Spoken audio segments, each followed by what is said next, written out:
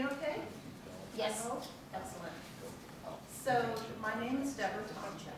I'm the industry chair for the Evolving the Workforce Community of Interest. We generally have a monthly meeting and uh, invite our government speakers to make presentations to us and uh, share what's happening in their agencies. And this specific meeting was recommended by our government advisory panel. The, uh, I would like to just share a little about our government advisors. We have four government advisors. Um, Lacey Dingman from the Securities and Exchange Commission, Dr. Carly Kelly, who's the Chief Learning Officer at USDA, Trey Kennedy, who's the CIO um, Council Support Person, and Jeff Sumberg, who's the head of HR at the Consumer Financial Protection Bureau. So we meet with them once or twice a year, and we ask them for their recommendations on both program topics based on their expertise, as well as speakers to make presentations. And so when we met with them last in November, we populated our spring schedule, and the most important topic that they all agreed uh, was how to lead change during times of great transformation. And as we are all aware, the um, new administration, which I guess is a year old soon, so maybe we don't say new anymore, but the current administration has asked agencies to take a hard look at how they organize and structure their agencies, and this is a major change. Um, many agencies are not in a position where they can talk in any detail about those changes, but regardless of what the changes are, being able to lead through that type of transformation is an incredibly important skill. And um, leaders that we have that are going to talk with you today are those who are very expert in this area. Uh, in February, we're still putting that program together, so please be on the lookout for that topic. But in March, um, Trey Kennedy is helping us organize a program around um, information technology change. They're saying it's a little hard to hear you. Wow, I'm speaking right into I it. know, I know. I'll speak louder. Um, information technology change, especially around the issue of coding IT professionals into the uh, system. So that's an area that's of important interest not only to the HR community, but also to the CIO community. Uh, this morning, we um, have a fabulous panel, and I'm going to ask Craig to introduce them. One of our speakers is um, arriving momentarily, but in the interest of respecting your time, we're going to go ahead and get started. Um, we, I do want to mention from our community of interest perspective, we have two projects underway, um, which we're going to talk about in more detail at the next, um, at the next meeting and give you some updates. I understand that our Talent as a Service project is scheduled to have a meeting next week, and some more information will be forthcoming. So uh, there are at least, there's close to 30 people on the telephone listening in, and uh, we have a number of people here in the room.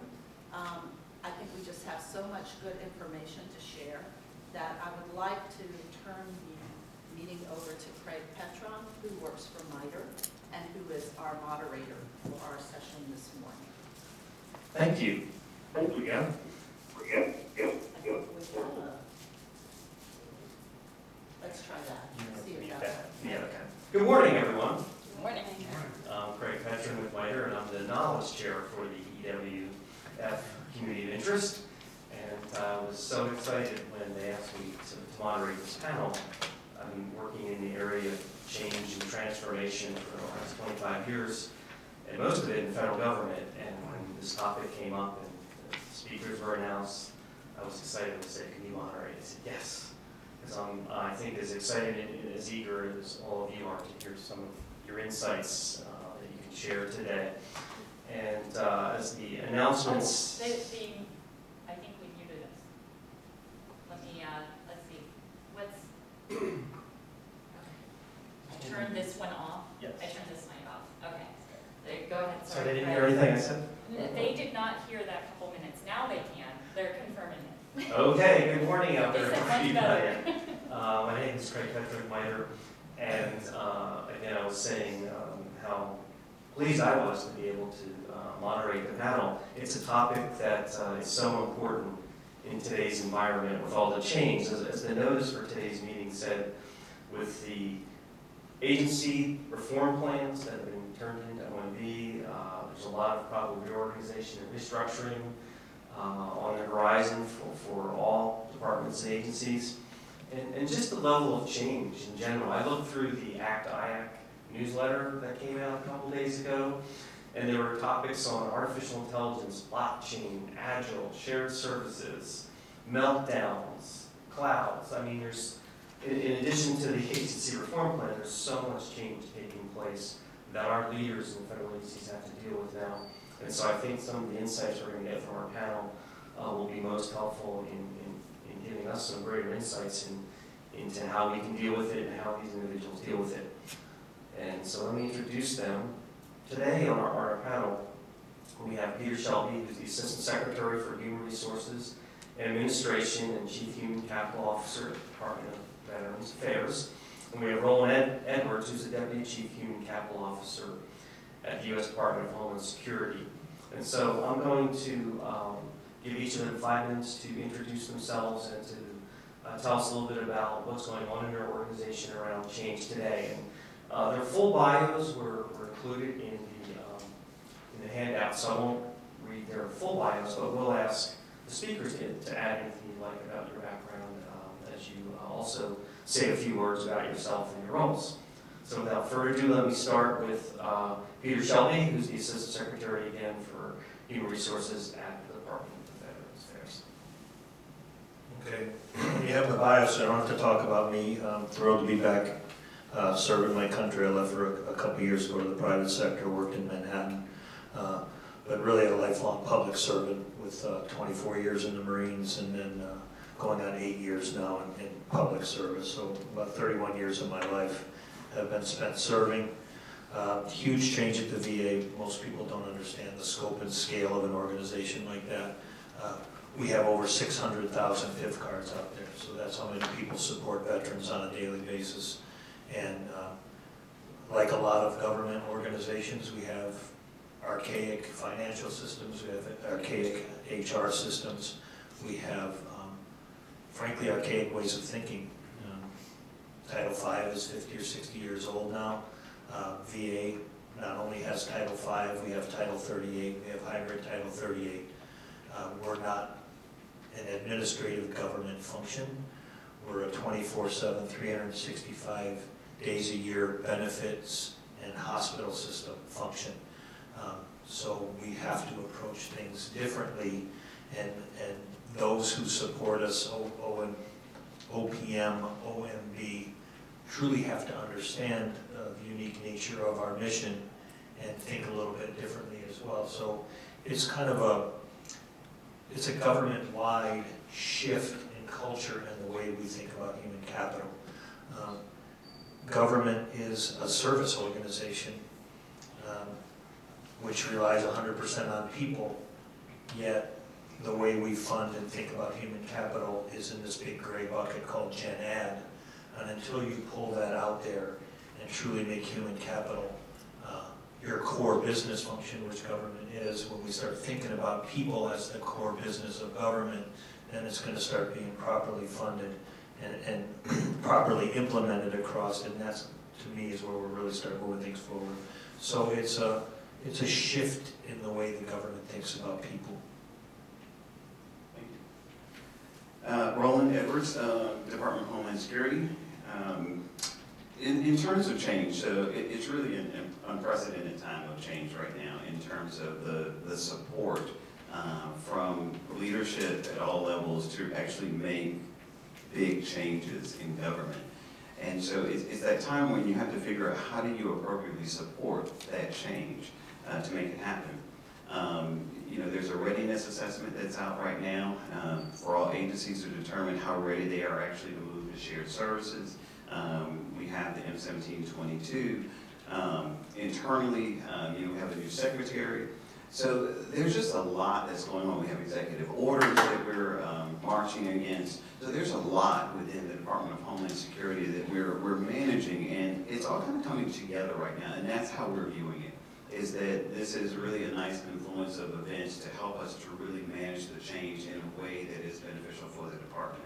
So whether it's uh, a newly stood up organization called the Countering Weapons of Mass Destruction, that's kind of ongoing to determine, you know, how do we best manage that function, which a piece of that came to the human capital um, to, you know, things that human capital is doing to help ourselves. Because that's one of the biggest things that I think that sometimes we don't do, is we don't help ourselves. We figure out what's anecdotally out there, and we just run with what's anecdotally out there.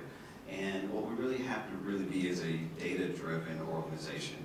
And so that's where we are really turning the human capital ship around, I think, in DHS, and I think our leadership is respecting that fact that we are data-driven, and what we're providing them is not just further anecdotes, but we're actually supporting what we're providing them. And so it, it's really figuring that piece out. Once you figure the, the data-driven piece out, your direction will follow. And so a lot of uh, the transformation uh, things, I think VA is, is well out there ahead of us.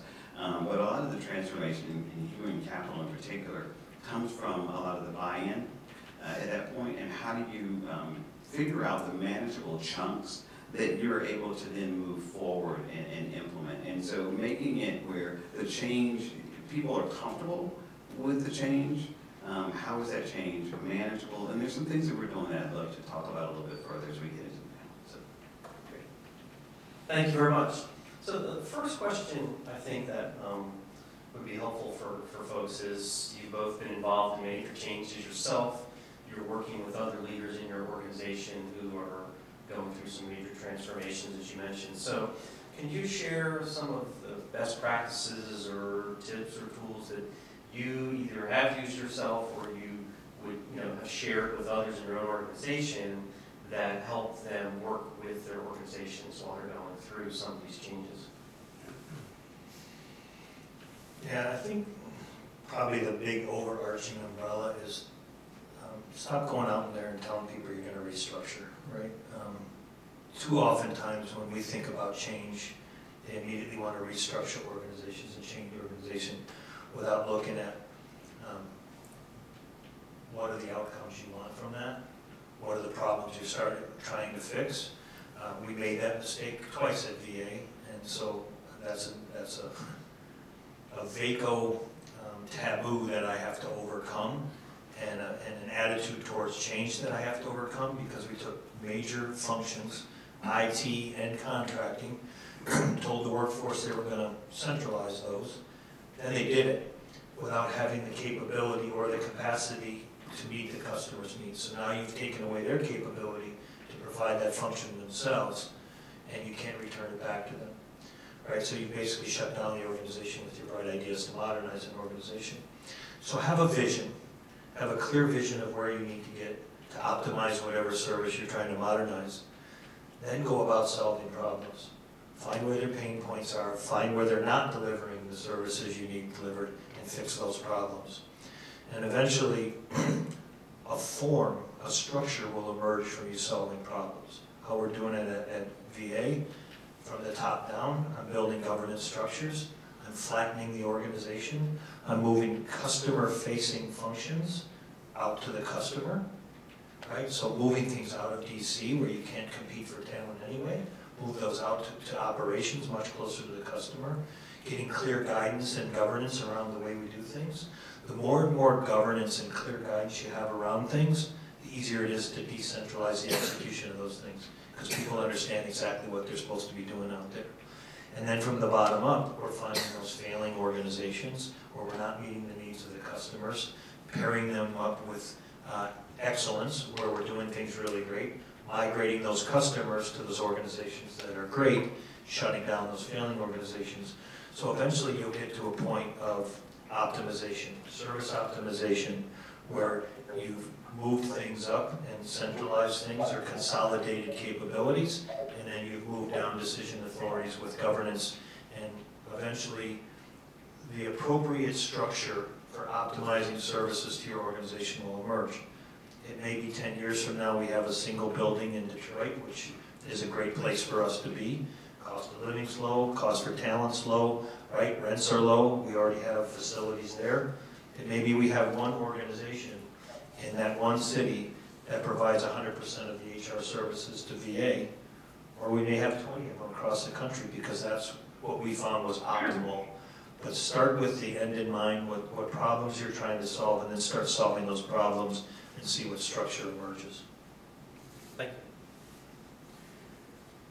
you. Uh, Agree with everything uh, that Peter said, and so uh, leadership, quite frankly, I mean, so let's just start there.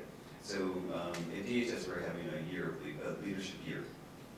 And the whole purpose of this leadership year is to really build the structure and the competence of our leaders to actually lead through the change that's, that's occurring within the organization.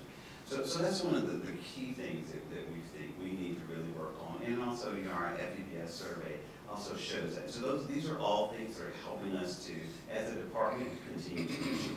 So that's one of the biggest things. As a mature department, how do you look at things as a mature department?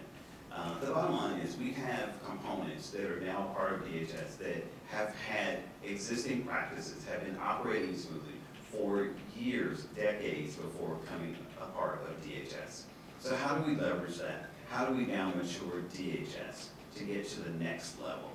Um, you know, within human capital, we look at some of the, the processes that we've undertaken. So we went out and we decided that we wanted to centralize a particular function. Um, it didn't go so well for us, right? We wanted everybody on the same system, everybody needed to have the same processes, all of our requirements had to be meshed into one, and it, it didn't work that well. And so when you're doing something like this, you want to uh, have OIG and GAO as partners helping you to strengthen something that you're working on, not coming in to tell you that there are some things that you could have done better along right? So that's where you kind of want to get. You want to use those partners and leverage the rest of the federal government. Uh, Angie Bailey, my, my boss, the Chico, uh, has a phrase. She says, let's rip off and duplicate. So as a federal government community, we need to learn how to do that a lot better. So if we know that the VA has gone through some things, or some commerce has gone through, and they've done something similar, then we should be reaching out and figuring out what are the things that you did right, what are the things that for your organization you wish that you had done differently, and then you may need to figure out how those work within your own organization. But those are things that you should do. You should not just try to go into this like your organization is so different and so unique that nothing that's been done in the federal government could be applied to your situation.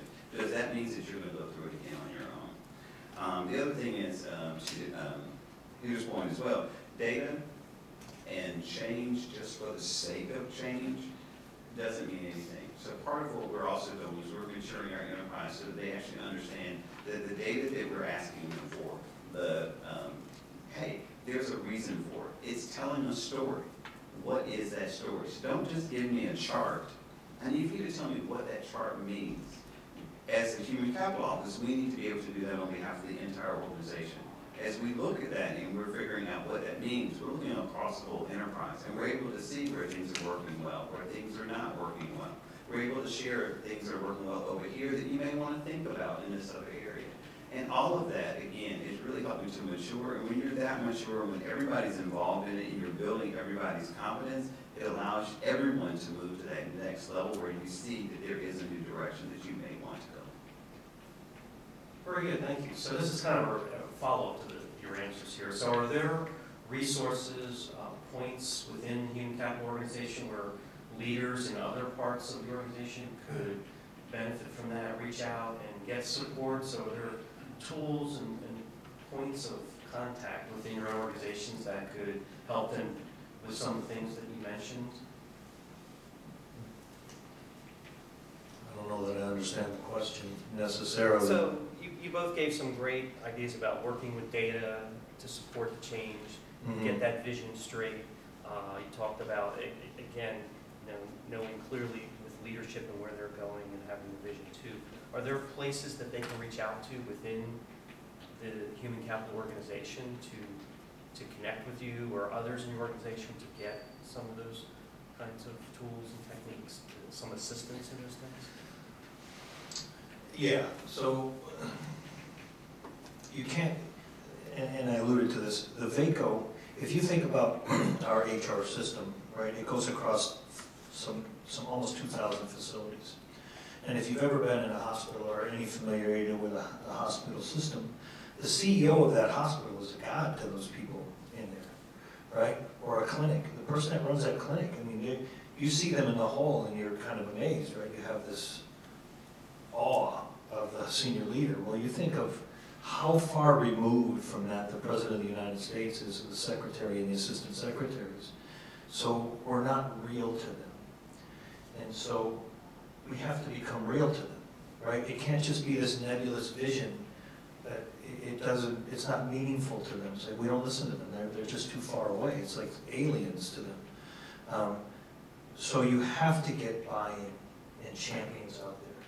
So I spent ten days in Illinois and Wisconsin in one of the visits, and I plan to do that with many of the visits, right? And I spent the day, days with uh, sterile processing teams and custodial teams and kitchen staffs and doctors and nurses. And I spent an entire day at a regional benefits office.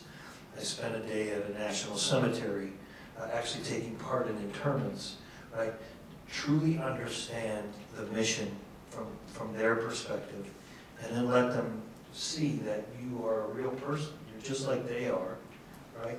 And you're as interested in their ability to serve veterans as they are, right? You're as passionate about the mission as they are, and you're willing to listen to their ideas. That makes you real. It makes them willing to open up and share ideas, and it makes them willing to be champions and engage in the change process itself. You're asking specific, do they have places to reach back? This is a, a big change effort. I think the biggest thing that you have to get is the willingness to change in the first place, and then get buy-in. Right, so we're giving them the tools, we're giving them the understanding, we're letting them know the direction with our implementation plan and our timelines and our goals and milestone. But if nobody buys into that, you're never gonna move the ball forward. So I think our job as leaders is to make it real to them be out there and interact with them. Very good. Um, You know, absolutely. Um, Our leadership chain from our um, acting secretary when it was Elaine Duke to our current secretary Nielsen, um, both listening tours. Uh, So you go out, you find out what's going on. Our Chico, Angie Bailey also has uh, done her own listening tours. The biggest part of that though is you're listening, you're kind of getting a day in the life of your workforce and you're finding that out. And then the next part of that is what you're finding out and what you're hearing, are you translating that into action? So if your folks are raising problems with you in the field that you're hearing or that you're experiencing for yourself, what are you then doing about it? Personally, I went out on Surge Capacity Force recently, and so um, I wasn't in one of the impacted areas. I wanted to go out on Surge Capacity Force, not sharing with anyone that I was the deputy chico for the organization. I wanted them to place me as they would place anyone.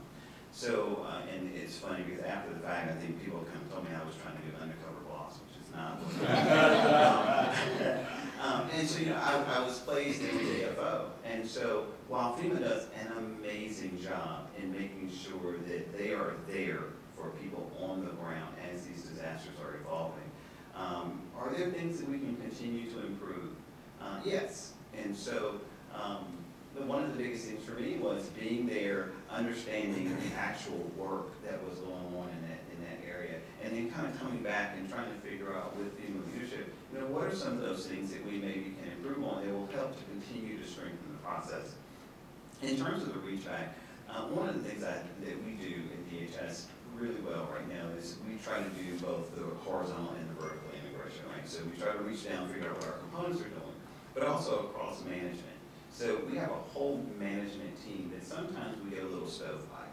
And so if you have a CFO council and you know that there's a big change initiative that you need to do in human capital that is gonna require funding in a two-year cycle, well, have you reached out to the CFOs to make sure that it's in their budgeting process so that you will actually be able to do it when your two-year cycle appears? Um, and so, you know, if you know that you have a huge IT project, but you don't have the IT resources internally, then have you reached out to your CIOs to partner with them? And not just your CIO counterpart at the CXO level, but have you actually reached out to the councils that most of us have across our organizations to really make sure that they know, have buy-in in what you're doing? So that, that's one piece of it, which is at the, the leadership level. But then there's also the toolkits that are just available to the point of just being relatable. Sometimes we, we let people know what they should do, but we don't give them the tools to help them continue to do it, right? So you have to continuously have those items out there that reinforce the culture that you're trying to put out, and the things that they're most struggling with. So our poor performers, the, the thing that most of us are struggling with, probably not. They suck up a lot of our time when they happen in our organization, but what we're really trying to do is to get the best out of the most of our workforce, which is- really ninety-five plus percent of our workforce. So what are those tools that are helping those managers really focus in and get the most out of the performance that they can? Thank you very much. Um, Next question that uh, we're going to talk about is, you mentioned uh, one of the important things to do is to establish that willingness to change, you know, to start that motivation in folks uh, to want to go through the change. And, you know, I think we all do that and we try that to a certain extent. At some point, you start to run into resistance from certain functions in the organization. You certain leaders, people in the organization, and and so one, one of the questions I thought would be interesting to explore is, you know, again, during these times, what are some things you think that you found to be helpful um, for other leaders in dealing those resistance points? So when you get the pushback, you, you, you get to the point where you start to lose that willingness to change, what are some things that can be done to deal with resistance that always surfaces? Because I think you're right, you know, the, the vision comes out and it sounds great, there's some support for it, but as you start to work your way through it, people start to feel the pain points about what, what it means to them and things like that. So what can leaders do or human capital do to help um, deal with some of the resistance that always surfaces in these change efforts? No, not at all. I will not resist. resistance is futile. Um, um, you know, right now, so I, I want to use a case in point. So sometimes we kind of do the very high level theoretical, this is what it could be like in an organization. So let me just share something I'm working through right now and, and my own challenge. So one of the things we need to do is we need to figure out how we're going to reimagine human capital for the Department of Homeland Security. So do we do it all in one huge chunk, everything blown up, put it back together? Or do we take manageable pieces of it? And, you know, I was struggling, so I thought my mandate was, we're gonna blow it up. And, you know, and, and we're just gonna have to, people are gonna have to suck it up, they're gonna figure out how to get in line with this, and we're gonna move out. Um, needless to say, that didn't work too well, right? Um, and so that's one of those points where it, it's really good to have, um, strong partnerships with your leadership. So it, it's not just that they're your boss, they're the folks that you actually go to for that ongoing mentoring and coaching. It's your project, no matter what level you're at. You always need to be able to bounce some of these things off folks who've done it before you, right? That, that's one of those things that helps strengthen you as a leader. Um, the ability to know where to go get your resources. So kind of paring that back, going back out to the workforce, and then figuring out, and, and sometimes it's just good fortune, right? Um, because there happened to be a presentation. I didn't know that Coast Guard did futures scenario planning. So Coast Guard is one of our components. Huge. So think about reimagining what HR looks like and taking yourself out of today and being able to look at 2030 instead. Give yourself a whole different world to play in. So come up with some scenarios. So figure out, hey, everything is rosy. Everybody wants to work for the federal government on this hand. You know, you've got all the money that you need. And then on this side, you've got significant political upheaval. Um, you know, HR is not the, um, in the federal government is not the employer of choice. So, you know, how do you play in those environments in 2030? And so when you look across that, it allows you to take yourself out of what you're doing today, out of your day-to-day, out of your resistance from today, and puts you into a whole other future that allows you to then figure out what is going to be best for my organization in the future. So those are the kind of things that we have to be able to do as leaders. We have to figure out plan A didn't work. We got to go to plan B. We have to figure out what is it that's manageable for folks and what's the tolerance level within our organization to actually implement change. And then when we do that, we're able to actually address the change and actually put a plan in place that will actually work. Thank you. overcoming resistance. You know, I've been through a lot of change efforts, and I, and I think one of the, one of the ways to start out by failing is not respect uh, the people who are being impacted by change and not speaking with them. And in, in every major change we've done, um, you go out and find out what's sacred to the people who are being impacted, right? And you try to protect that to the best of your ability. And then those leading to change, there's gonna be things that are non-negotiables, right? Those are the things that are sacred to you, right? They have to happen. New IT system, you know, new HR system, whatever it is, these certain things that are gonna be sacred, they have to understand that. So you have a mutual respect for each other's sacred zone, and then everything in the middle of that is negotiable. And listen to them, right? Truly get the people out there being impacted by it, to have that conversation about that middle zone, and, and come to consensus to where you can on those middle zones and those changes, and then overrule them when you have to, right? You still, you have goals in mind and, and end states, but the fact that you respected them up front enables you to overcome a lot of resistance. And when you can't overcome their resistance, um, they'll at least respect the fact that, hey, you had to make a choice and, and you had a conversation with us. Um, and then there's degrees of support. A lot of this, they feel up front. oh, absolutely, I can do that. But then when you get so far into the change, they start getting cold feet, right? Oh my gosh, it's, now it's my apple cart that's about to be tipped, right? And so you have to keep re-engaging through the process. You're gonna have different sticking points, right? The further you get into a change, more and more and different people, even those at, at the front end were in the decision-making process and said, yeah, this is the way to go, when suddenly the change gets far enough and broad enough that it's actually impacting their lives, then they get fear and they back out. So you have to, throughout the process, have milestones, have check-in points, and make sure that you're re-engaging those people and have they changed, and then overcome whatever new, new uh, resistance is coming along the way. Craig, we have a lot of people from the government agencies on the phone, and, um. I just sent a note out, seeing if anyone had any questions, they'll yeah, type it in Because we're here. you're talking about internal government agencies, practices and policies and what you're doing.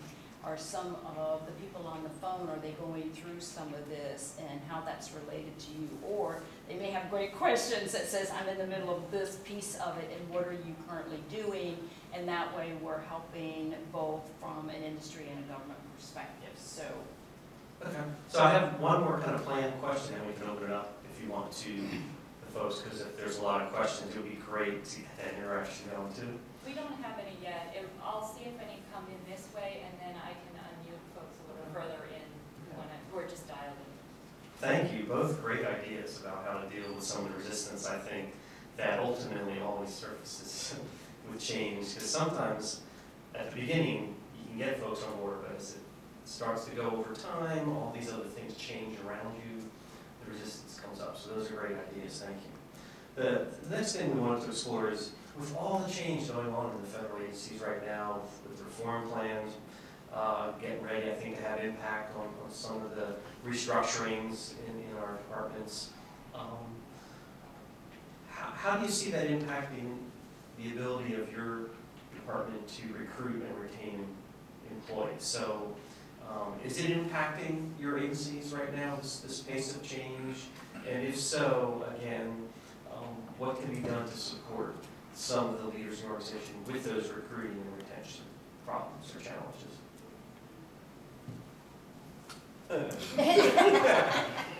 You're on the hot seat. You guys had to see that on the phone. He, he ran away from that question like a scared squirrel. He almost threw the microphone at me and hit me in the head with it, so. Um, we writ large, uh, we're so big, you know, even with a ten percent turnover rate, every single day I have over thirty thousand vacancies. So recruiting and retention, no matter what's going on within this organization, it's an issue. Um, Include your um, marketers, include your recruiting teams in the change process. As I said at the outset, we have to change the way we think about people in government. Too often times you make mission statements and mission goals and you never talk to the people people.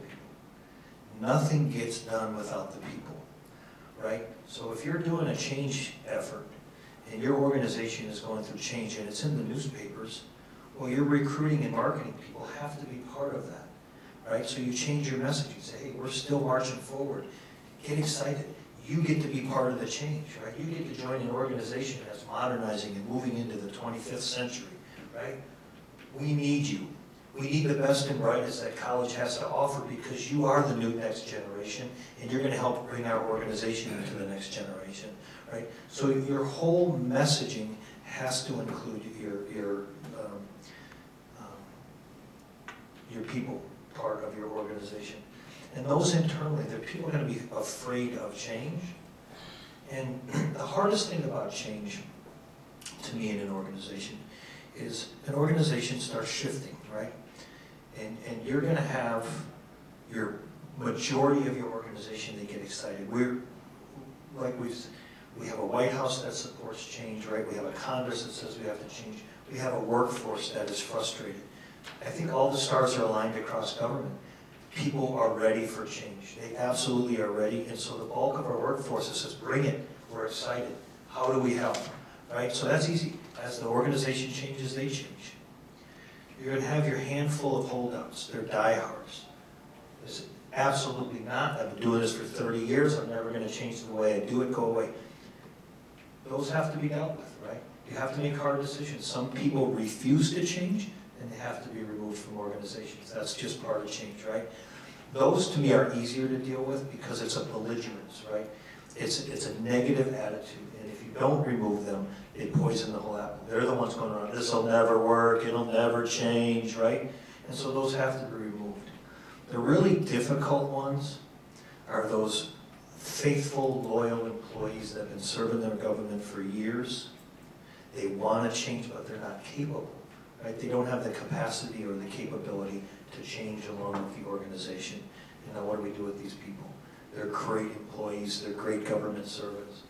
How do we help them either transition out or transition into new roles, right? Can, is there something that there's still, is there some value they can still bring to the organization? So those are the ones that, to me, you focus on the most, right? Is those loyal employees because nothing uh, can derail change faster than not showing those great people that have shown you that type of loyalty and commitment to what you do every day, the respect that they deserve in helping them transition to whatever we have to help them transition.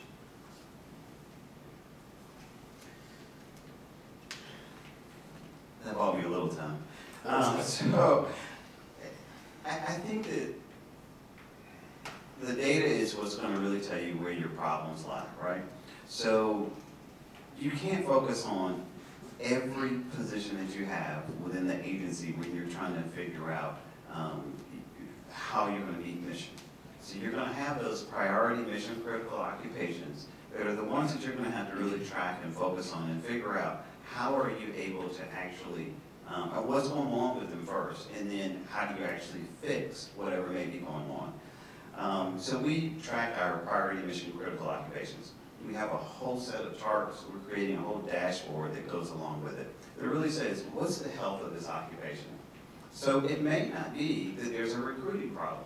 So that's what we're finding in a number of our priority mission critical occupations. We don't have a recruitment problem, but we actually have a retention problem. Because oftentimes, when you're a very large organization, you have locations that are not as desirable as other locations. How do you deal with that? And it's not by ignoring the problem. It's not by continuing to just recruit and just hope that your numbers are gonna balance out at some point. It's what are some of the incentives that you can put in place that are gonna help you to stem the attrition, which is gonna actually help you with your recruitment at some point, because your numbers will stop washing out. Um, and especially when you're dealing with unprecedented change, like trying to hire an additional ten thousand employees, right?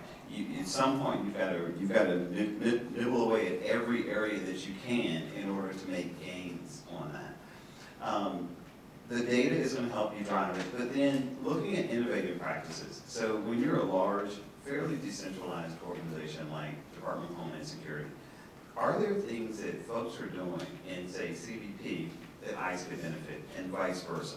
So right now, we're looking at hiring hubs.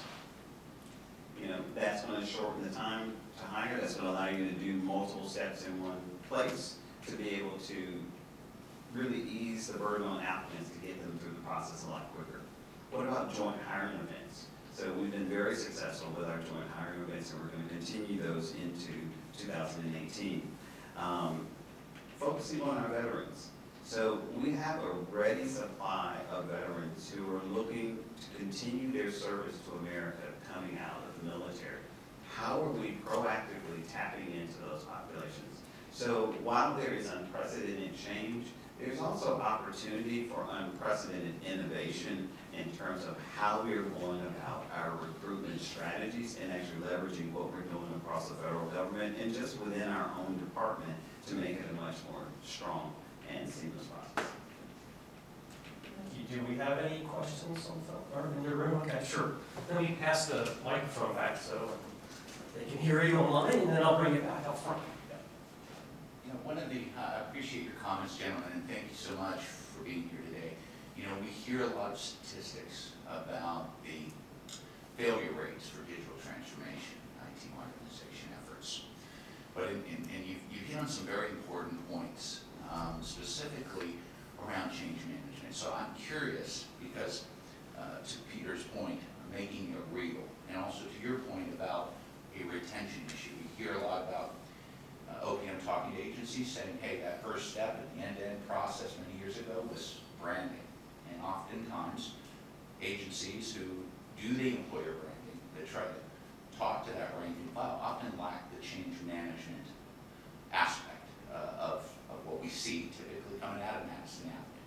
So I guess my question is, given your roles and where you've been and your background, might you be able to recommend an approach that's worked in your respective agencies for change management? I know there are different philosophies or, or authors around that topic. Uh, has your agency adopted a specific change management approach for some of these initiatives? Thank you. You can't see me, but I'm running back to the front, and uh, who wants to take that question first? On us. No, I, I- I have, I'm, there's, uh, there's lots of books out on change management, and there's books out on, you know, making organizations excellent and cultural approaches to change. And the common theme in all of them is that what worked for IBM won't work for you, you know? What worked for McDonald's won't work for you. Everything you do, whether it's, you know, massive change, or you want to shift a culture, or whatever, it's contextual, right? So ascribing to any specific way of doing things, there's common business practices around change, like communication, 101, right? Change 101. Everybody has to know what the heck you're doing, I've already talked about that. Making it real, you have to get down to the people impacted and talk to them about it. Understand their fears, right? Understand their problems, and make it real to them, right? That's just a, that's just a common practice. But adopting any specific, well, let's lean this thing, right? Let's bring in Six Sigma and do all this, right? They've got a, a data-driven way of thinking about things. These are human beings being impacted. So it's contextual, right? And at the VA, what we're trying to do is, is talk to the people, right? We're in a people business. We deal with veterans every day. That one percent of America that puts on a uniform and gives us all that we hold dear in this country. These people have the opportunity to pay them back every single day. So let's go out there and find out what barriers are in the way of you optimizing that service. How can I make it ridiculously easy for you to serve veterans? Right? And understand that, and then make that part of your change, right? Let's target those things. These are the barriers they say they have. Make that part of your change effort and communicate around those things. So I wouldn't, I wouldn't ascribe for any organization to take some cookie cutter approach to change and try to implement it into your organization.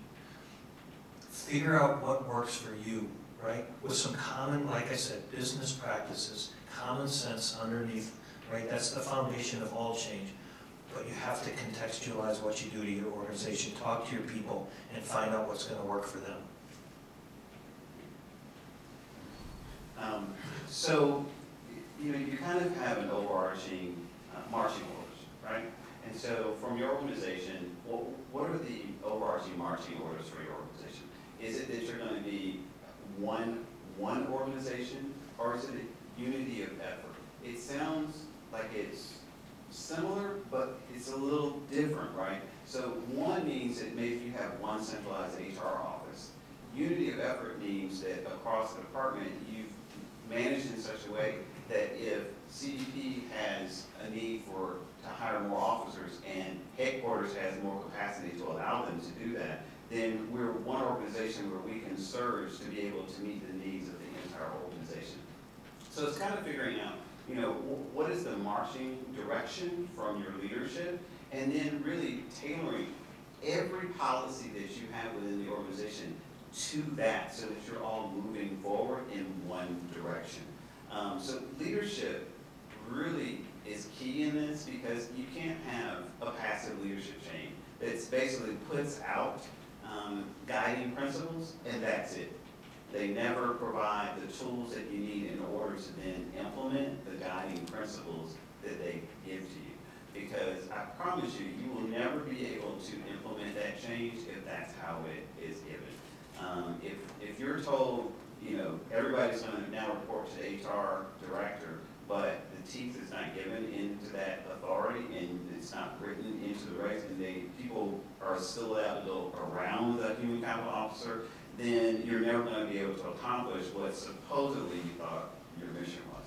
And so it, it really does come down from leadership, making sure that you understand, and quite frankly, speaking truth to power. So if you don't have what you need when you're asked to do something, you have to say that. You have to put that up front. And quite frankly, you have to provide, um, tell them what it is that you need. We have new leadership across the federal government. And they're coming in and they're trying to figure out what they want to do next. They're trying to figure out what has occurred in the past. And it's our job to get them up to speed as quickly as possible to be able to then execute on what they're trying to do. And to your point, um, you know, there are gonna be those folks that you're gonna have in your organization who are going to try to hold out. That they figure, like, what we're doing now, which is we're looking at management reform, we're trying to figure out, you know, what's the best model? Should we outsource, you know, are we ready for outsourcing? And, you know, we've been there before, right? And so our folks are thinking that perhaps if we just wait this out long enough, if we drag our feet long enough, we're gonna, the pendulum is gonna swing right back and we're gonna be trying to hire people right back into the federal government. So one of the pieces that we're looking at with the Coast Guard model is in twenty thirty, how can we set ourselves up for success? That even if we do all the outsourcing, if in twenty thirty, let's say all of the political stars realign in some way that now we're trying to bring everybody back in, are we able to do that? What model are we putting in place for ourselves that allows us to be successful implementing things now, but also allows us for success into the future?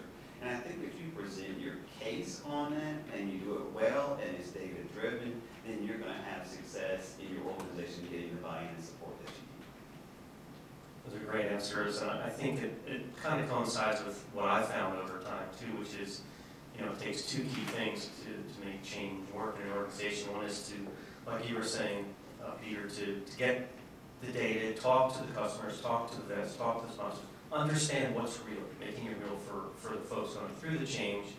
And I think you bring up a good point too, which is if you're thinking about what model has to be in place to make it work five, ten years down the road, it, it's about, it's a process to get there. So you need the data, you need to understand what factors are your gaps and and weaknesses for implementing the change, and then think about long-term, how do we get there? What's the process, us, you know, for us to get there? Those are two key things that you, you each brought up. Yes? We have one. Okay. So Dave Kitros on the, pho- on the uh, online meeting asked, he says, "The VA and DHS are among the relatively few agencies that are being encouraged to expand hiring or being given more resources. How can other agencies that aren't so high on the priority list still try to promote change?" Okay, that's a tough one. Here you go. I, I I personally don't think change has anything to do with resources and, and people, right? Um, So oftentimes, and especially since technology has become such a big part of our lives, um, we forget to innovate thinking, right?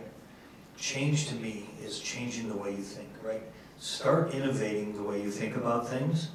And to me, um, the demand signal for that screams louder at those organizations who can't increase workforce, who can't bring in additional resources. So change the way you think about business, right? How do we accomplish our mission?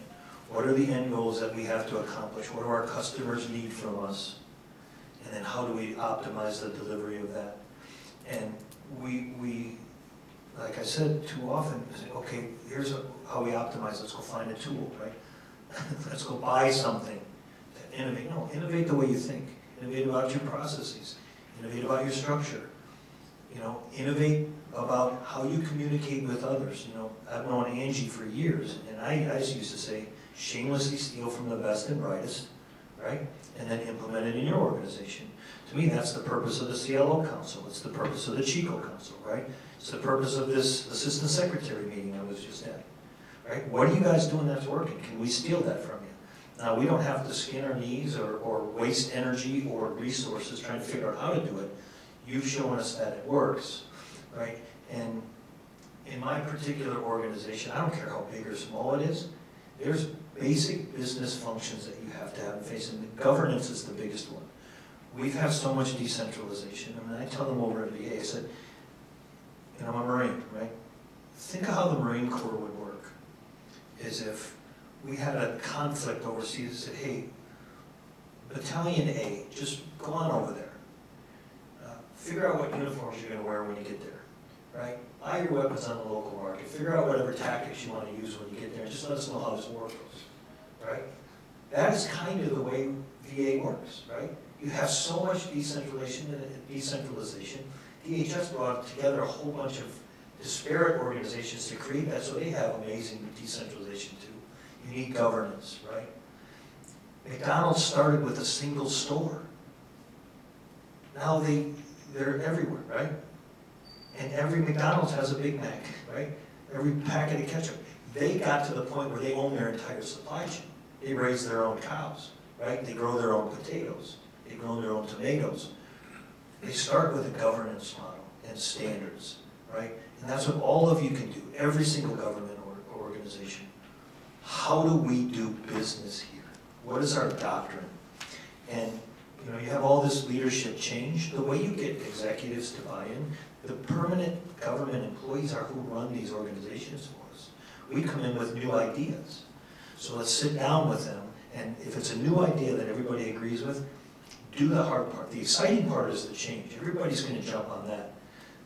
Pause, document it, create new policies, create new SOPs, get them signed off in the highest level organizations, then take them outside your organization to Congress and the Hill and say, hey, this is the way the VA does business now. I want you to put this in the Federal Registry, document it everywhere, make it really, really freaking hard for the next person with a bright idea to come in and undo everything that four or eight years has been going on in this organization. Right, so innovate the way you think. That doesn't take resources. That takes people, it takes mental resources, and you have those in spades there. You've got a lot of people that came to the government to serve. Listen to them, tap into that resource, get them innovating the way they think about how you run your organization, and then implement that and copy it and document it. Make that your SOP, your doctrine. Then you can scale, like he was saying, look at 2030, right now they're downsizing. If you have governance, you can downsize. McDonald's can downsize to a single store, because they have a governance model. Everybody knows how to do it, and then they can rescale back up as big as they need. We can do that in government as well, but you have to have those consistent processes, that consistent, doc- the Marine Corps has gone up to three hundred thousand when there was a war, then they tried to disband the Marine Corps completely, and they came back up to hundred and eighty, right? We flex all the time, the Army, Navy, we all do it. We flex size and resources all the time. The organization doesn't go away, the mission doesn't go away, and how we do business doesn't go away based on the resources and the number of people, because we have doctrine and SOP. Have a way of doing things. We have standards that we will not compromise. Every organization can do that. So I would say, think about it in terms of, um, and, and I hate to kind of always use data as my fallback, But that's one of the things we don't do well. We don't use metrics well, and most of our staff oftentimes have difficulty developing good metrics. So when you actually involve your staff in the process of developing metrics, tracking metrics, figuring out what those metrics actually mean, who cares about the program that you're running, I think you're gonna find that you involve them and they begin to see the light, you know, down the line. They begin to see, okay, this program, it, you know, doesn't have leadership support. Um, so if it doesn't have leadership support, then what, what am I going to do? Because oftentimes, that's why we hold on to programs so dearly, right? One, sometimes we just care about that program so much because we built it from the ground up. Other times, it's because this is my job. If, if this program goes away, what happens to me? And I am not ready to change. So the question is, how honest are you with your workforce? How honest do they feel like you are being with them? Because it's not just how you think you're, it's how they actually are perceiving you. And so if people see that you're being honest with them, if they see that you care about them and you care about the work that they do, then they're gonna be more willing to allow for you to be in their world, to change some of their programs to make them more successful in a new, in a new world order. So are all the programs that you're doing, do you need to do them? If you don't need to do them, stop doing them. So stop asking your staff to take on new things, and there are things that they currently have that you care about, or maybe one or two levels up care about, but your leader, your senior leadership no longer care about. Stop doing them. The next part of that is then for your staff who no longer have perhaps a full day's worth of work, what are you doing as an agency to assess their skills to make them ready to take on other roles across the organization? If you do this in a way that your folks feel supported, that they feel like they're going into positions where they're being set up for success, then you're going to, if you're able to show that in small scale, it gets out, word gets out. Folks are going to then be able to feel like whatever happens going forward, that they're going to have a landing place, that they're supported, that the organization is moving in a direction that they can support because they've had an opportunity to see the down-the-range vision, they've had an opportunity to see what's going on with their programs, and you're helping them define a place that's actually still meaningful for them within that organization. Great answers. Any more questions here? In the audience? So, thinking very broadly, if you could have one thing be changed to help you accelerate the types of improvements you're making in your departments, which, by the way, we all are aware are the two largest domestic agencies in the federal government. If there could be one thing that was changed that would help you, what might that be? Narrow it down to one. Another easy question. Um, I, I, for me personally, um, and I don't speak on behalf of the department, I don't speak on behalf of, of the CHCO. For me personally, uh, give me the budget that I need in human resources to actually do what I need to do. So the budget in human resources would allow me to do my human resource information technology initiatives that I need in order to streamline functions, to have the data that I need in order to be able to make those key decisions. It allows me to then be able to hire the human capital specialists that I need in order to then hire the ten thousand new um, employees that we need to bring on board. It allows me to do the support that I need to do for the organization. So we also have workforce health and safety, we have resiliency programs, we have all of those things, you know, the benefits, even the retirements. Um, so putting on the seminars and letting people know when they can, cannot go, that's critical. It's supporting your workforce. The recruitment, the retention, all of those things. If I have the budget that I need in order to have the staff and the support to support the workforce, it allows me to then be in a much better position to then support the mission. Yeah, on a broader, you know, it may have sounded like what he was saying is I need more money, but he's really not. Um, I, I've said this for a long time. As long as human capital is thrown in gen ed, they'll take the money away, right? I, I did a great job at DIA, um, working with my team, writing the justification for my budgets, right? I figured it out, I, I took the time, I didn't